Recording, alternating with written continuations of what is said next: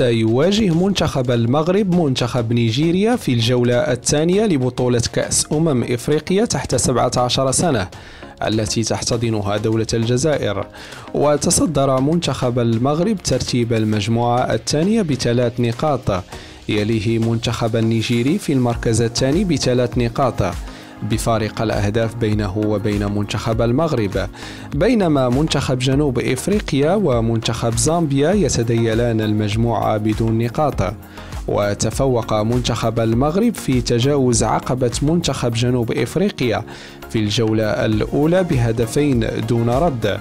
فيما تفوقت نيجيريا على منتخب زامبيا في الجولة الأولى بهدف دون رد.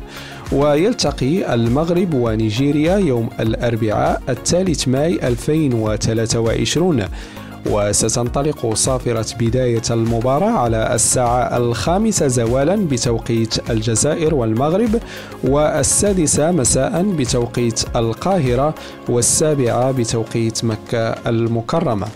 وستقام المباراة على أرضية ملعب شهيد حملاوي بمدينة قسنطينة وسوف يتم نقل أحداث المباراة على قناة بين سبورت القطرية.